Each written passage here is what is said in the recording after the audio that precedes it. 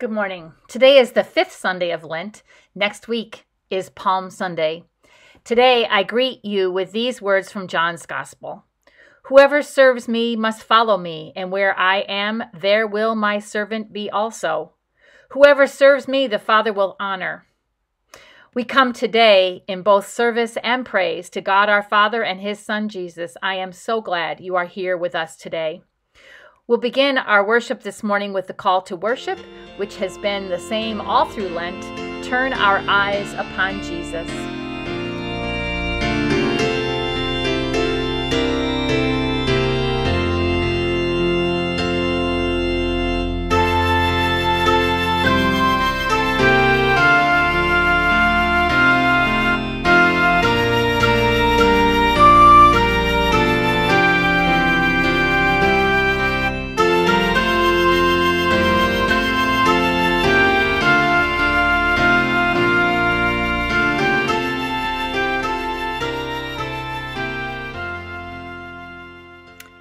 Our gathering prayer this morning is going to be a video. It's called Rain, a Prayer for Lent. It comes to us from Freebridge Media. Rain down on me, Almighty God. Shower me with your grace. Flood me with your mercy. For I am a dry and barren land consumed by the rot of my sin, burdened beneath the weight of my transgressions. Pour out your loving kindness. Drench my heart with your presence. Renew my soul, refresh my purpose, reignite my passion. Rain down on me as I own my iniquities. Rain down on me as I humbly confess. Rain down on me as I enter your presence. Rain down on me, Almighty God.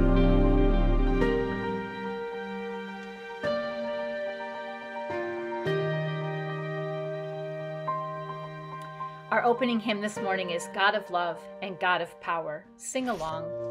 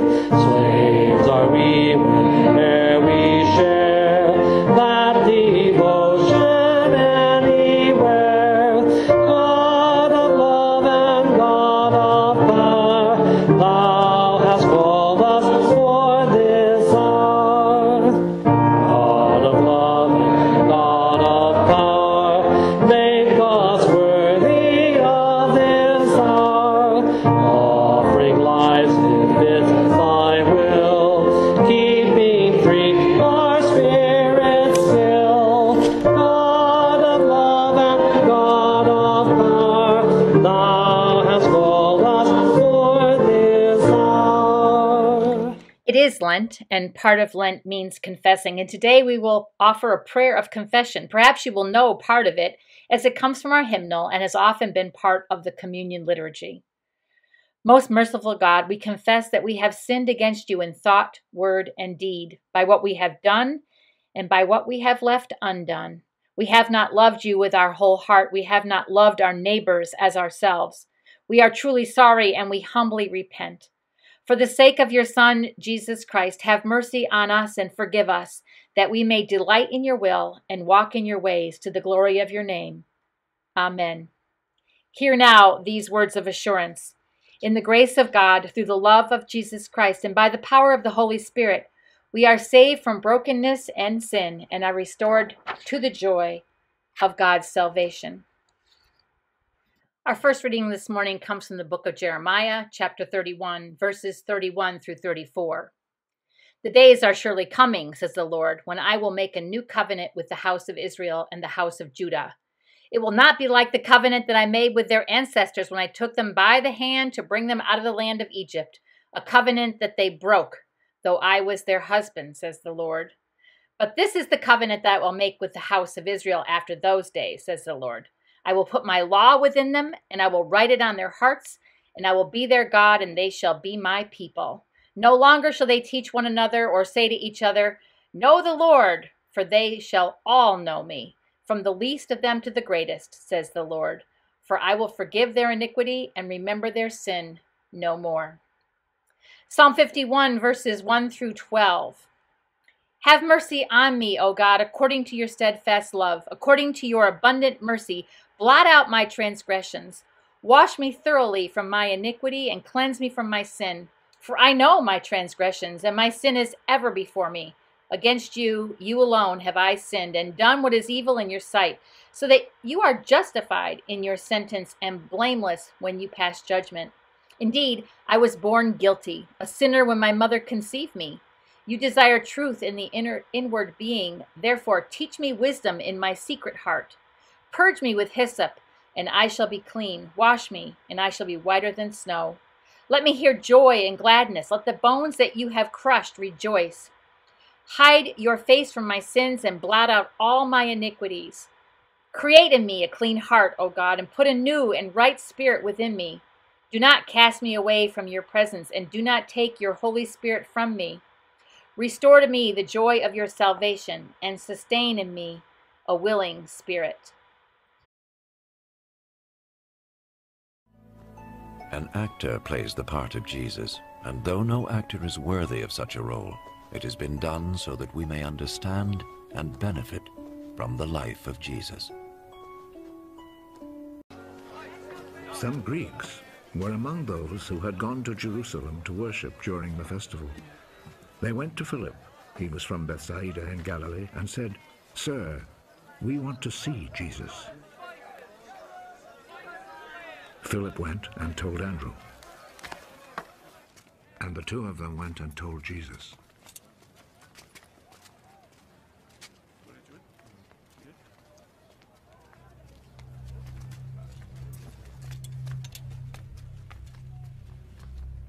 The hour has now come for the Son of Man to receive great glory.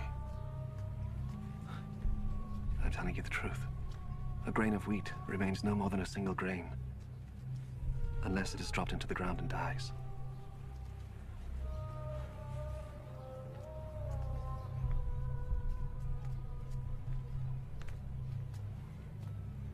If it does die, then it produces many grains. Those who love their own life will lose it. Those who hate their own life in this world will keep it for life eternal.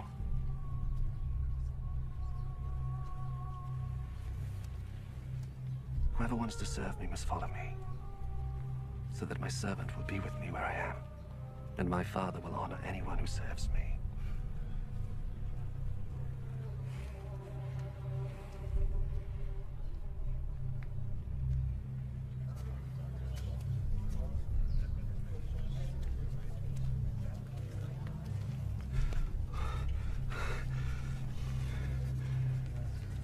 Now my heart is troubled, and what shall I say? Shall I say, Father, do not let this hour come upon me?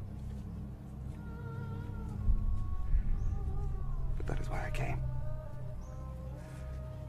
so that I might go through this hour of suffering. Father, bring glory to your name. Then a voice spoke from heaven. I have brought glory to it, and I will do so again. The crowd standing there heard the voice, and some of them said it was thunder, while others said, an angel spoke to him. It is not for my sake that this voice spoke, but for yours. Now is the time for this world to be judged. Now the ruler of this world will be overthrown. When I am lifted up from the earth, I will draw everyone to me. In saying this, he indicated the kind of death he was going to suffer. Our next hymn this morning is Just As I Am Without One Plea. Sing along.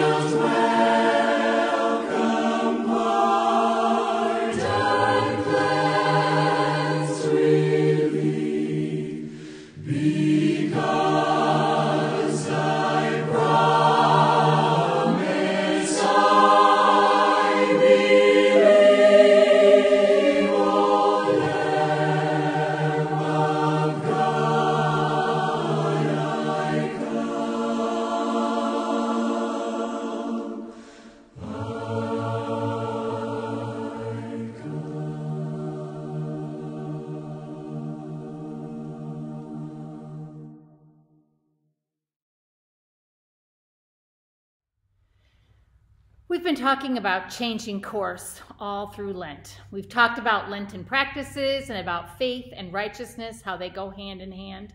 We've talked about praying and doing for others. We've talked about cleaning up the clutter in our lives. I referenced that some of the clutter in our lives comes from our sins.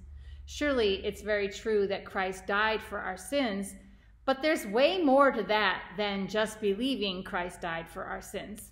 That doesn't really change our course a whole lot. Not really. Knowing it and believing it are all very well and good, but that knowing and believing can sort of take away any responsibility on our part. Surely for us, to have entry into heaven, we need to do our part. And according to our readings this morning, our part includes confessing. We don't do a whole lot of confessing in church services. In fact, some people think confessing isn't really a Methodist thing. Confession has always been part of the Lenten practices in most churches, and it's not just a Catholic thing either, because there are prayers of confession in our hymnal. And just because I've not used them since I've been here doesn't mean they aren't Methodist ish. So I've not made them part of our service here at church, and I have to ask myself, why is that? Why don't I lead us in prayers of confession? I didn't have a good answer for that. So, as you noted, we've used one this morning, as we should. That should be a course that we get on and stay on. Prussian King Frederick the Great understood about confession, about it being the right thing to do. He was once touring a Berlin prison. The prisoners fell on their knees before him to proclaim their innocence, except for one man who remained silent. And Frederick called to him, Why are you here? Armed robbery, your majesty, was the reply. And are you guilty? asked King Frederick. Yes, indeed, your majesty, I deserve my punishment. Frederick then summoned the jailer and ordered him, Release this guilty wretch at once. I will not have him kept in a prison where he will corrupt all the fine, innocent people who occupy it. That is quite a story because it gives us something to learn about confession. Confession is not only good for the soul, but clearly it changes things for the confessor. This prisoner's confession changed the course of his life. Don't you wish, as you watch the news night after night, that people would just confess their wrongs, say, Yep, I did that, and nope, that wasn't right, and I did wrong? Mm, don't you just wish? But are we quite ready to do that honest confessing ourselves? Hmm, perhaps not. Our grandchildren, Sydney and Andrew, are being raised Catholic, which is great. They are being raised in the church, so we really don't care which one. But last year, Andrew, who is uh, uh, now nine years old, had to do his first reconciliation. And near as I can figure, that means it's the first time he had to go to confession. He was a wreck. He asked his mom to help him decide what to tell the priest, what to confess of the things he did wrong, which sins should he confess. He was really worried about it. As an aside, apparently that's not so unusual. I read about that similar thing in this little story. Because the younger children at a parochial school often forgot their sins when they entered the priest's confessional, the priest suggested that teachers have the students make lists. So the next week, when one child came to confession, the priest could hear him unfolding paper, and the youngster began, I lied to my parents, I disobeyed my mom, I forgot I fought with my brothers, and and there was a long pause. Then a little angry voice said, Hey, this isn't my list. Andrew's list was collated. He took a few days to finish it. Not because it was so very long, thank God, but because it was tough telling his mom his wrongs. I guess it gave him good practice. He did say things like this Remember when you asked me if I had chewed on my pencil and I told you no? Well, I did, really. And he said, one time you called my name when I was downstairs and I didn't answer, but then I told you that I didn't hear you. Well, I really did hear you.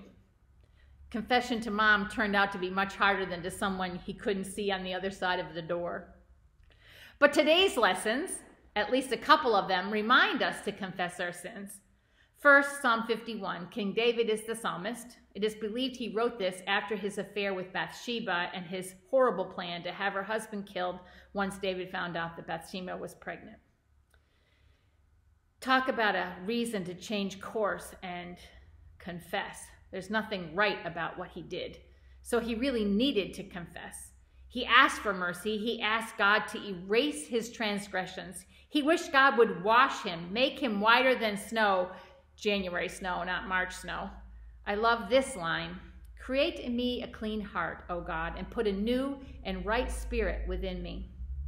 What a wonderful line. And for me, it's a nice way to start a prayer of confession. I remember clearly from the last book study, Before Amen, by Max Lucado, that he wrote about confession. It was about praying specifically, which I touched on last week. Confess like Andrew, Like the prisoner in Berlin, name it and own it. Say it clearly no matter how much you hate it. In that book study, we talked about admitting our sins and how it's it's hard to do. And we even stated it is somewhat somewhat easier to name our sins of omission than to name our sins of commission. Sins of omission are what we did wrong simply because we didn't do what was right. That the ought to haves, the should haves, are not as awful as the dids for some reason. At least that's what we think. Sadly, that isn't the case, probably for God. God says, don't sin. Confess the sins and change course. That's the harder part, the part after the hard work of confessing. It's one thing to say what we did wrong, it's the harder part in most cases to stop doing it another time. This somewhat funny story illustrates that perfectly. Four preachers met for a friendly gathering, and during the conversation, one preacher said, Our people come to us and pour out their hearts, confess certain sins and needs. Let's do the same. Confession is good for the soul. In due time, all agreed. One confessed he liked to go to movies, even ones that are not good for the soul. He would sneak to a movie theater in another town so as to not be seen. The second confessed to liking to smoke cigars and to drink alcohol, sometimes to excess, sometimes after preaching how bad those things are to his folks. The third one confessed to playing cards and being quite good at it, often winning the gambled money from his fellow players. When it came to the fourth one, he wouldn't confess. The others pressed him, saying, Come now, we confessed ours. Confess to us. What is your vice? What is your sin? Finally, he answered, It is gossiping, and I can hardly wait to get out of here. There you have it. Confession that's hardly worth the words spoken. It's admission, but with no intent to change. And that change thing, that's been the talk for the last five weeks. Change course. So why bother to ask to be whiter than snow? Why God, ask God to hide his face from our sins? Why say and believe that no matter what we do, what kind of sin we, we commit, the sin really is against God? Why do all that heart work if in the end we just do it and do it again? Confession brings us to a better relationship with God. The purpose of confessing is to connect with the one who laid down his life for us so we could live our life for him. When we confess something, it's probably because we've been doing what pleases us, what we wanted to do with little regard for what pleases God and what He would like us to do. Think about that. When you confess, isn't it clear that you are confessing, that what you are confessing is probably what disappointed God the most? Confession is a topic of many verses in the Bible. That's because it's been a problem forever, right from the start, with Adam and Eve and the forbidden fruit. It's been a thing. Here are just a few verses for us to remember. Proverbs 28 13. Whoever conceals their sins does not prosper, but the one who confesses and renounces them finds mercy. Acts 3 19. Repent then and turn to God so that your sins may be wiped out, that times of refreshing may come from the Lord. Leviticus 5 5. When anyone becomes aware that they are guilty in any of these matters, they must confess in what way they have sinned. Matthew 3 2. Repent, for the kingdom of heaven is at hand. The benefits of confessing? Well, first, in the admission of our guilt, it's not like you are telling God anything he doesn't already know. But when we say it, it, it, it surely becomes ours. God already knows our sins but he wants us to know our sin as well. Own it. Lying to ourselves and God will get us no place. We all sin. We can't help it. We are human. So after we've confessed, admitted, we are reminded that God's grace is there for us. We get God's forgiveness even though we don't deserve it. We can again be joyful according to King David once we've named our sins. King David prayed, Do not cast me away from your presence, and do not take your spirit from me. Restore to me the joy of your salvation and sustain in me a willing spirit. So, telling God won't surprise him, at least not about the act, but maybe the way we say it will be unexpected if we try to make it sound less sinful. But once we say it, we own it. Next, we can move forward on a new course, and we should.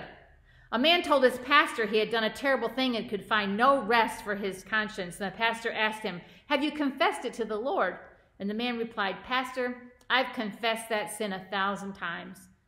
And the wise pastor said, That is 999 times too many. You should confess it once and praise God a thousand times for his forgiveness. Remember that, remember, and then remember this next verse, as I know you've heard it a hundred times. 1 John 1 9, from the Good News Translation. But if we confess our sins to God, he will keep his promise and do what is right. He will forgive us our sins and purify us from all our wrongdoing. The prophet Jeremiah tells us a similar thing. God said, I will forgive their iniquity and remember their sin no more. So let it go. Confess and move on to a new course. And the new course better include work on avoiding that particular sin. And finally, our new course is on a better path.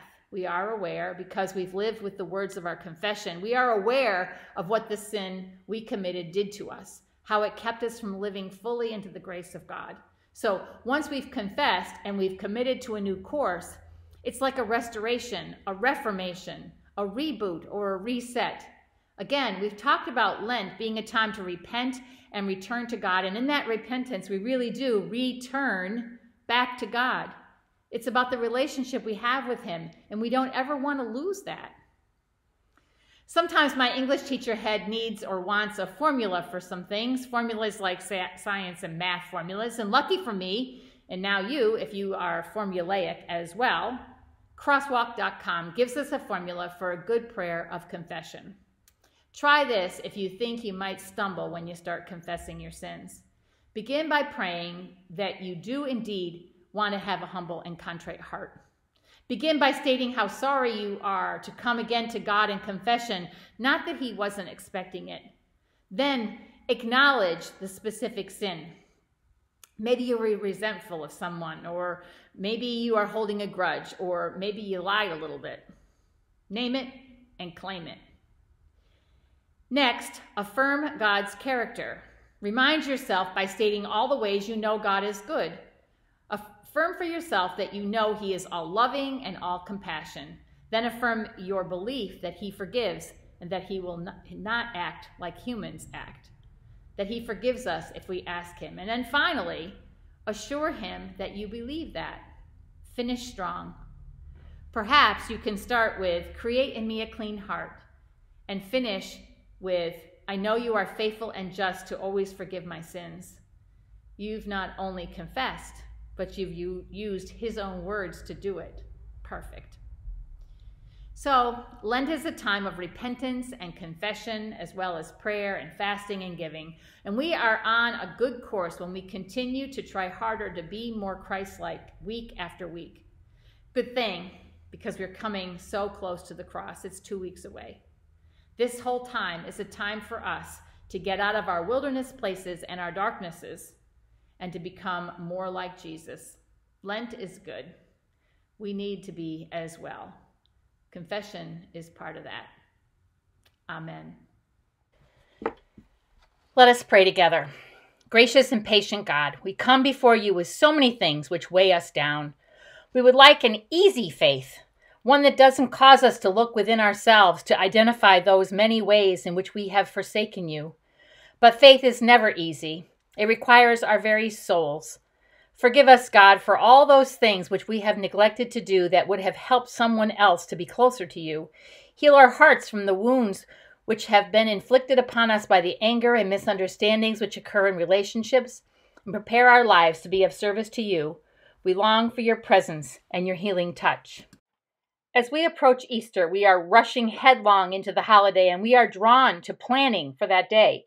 We feel a sense of urgency, and yet you have called us to be on this journey through Lent, gradually coming with Christ to the cross and beyond.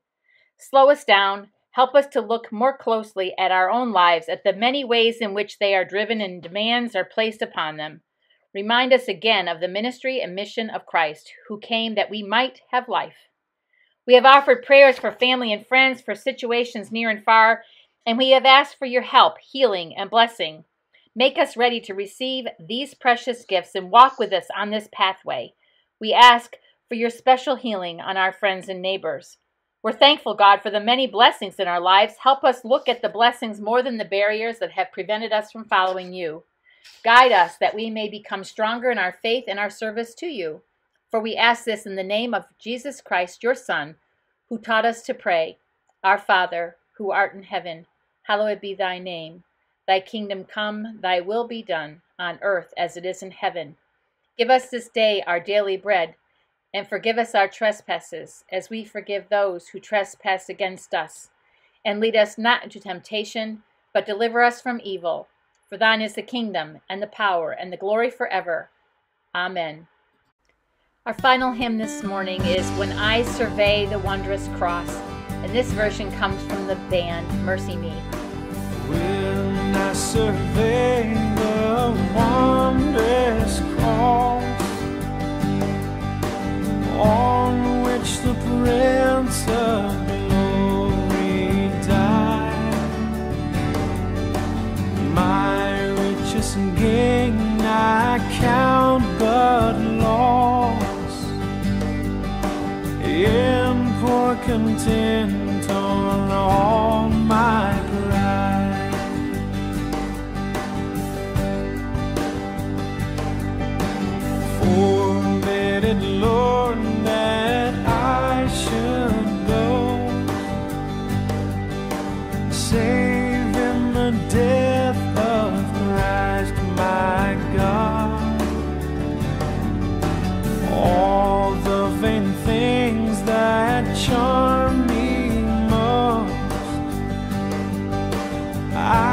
I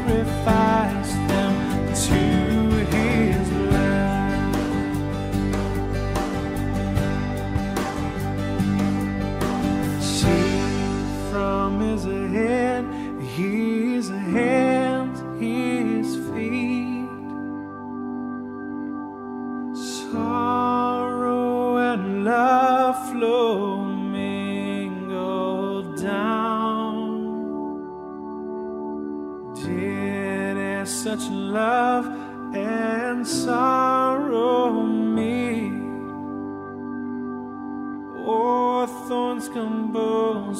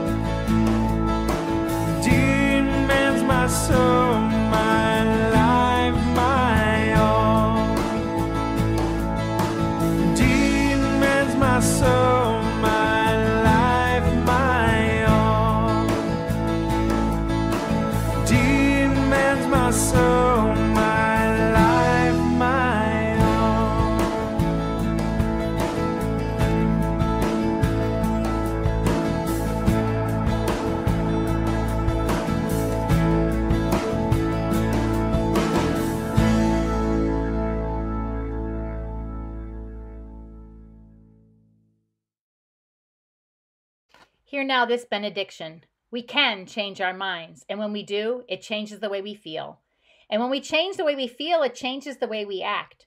When we change the way we act, it changes our corner of the world.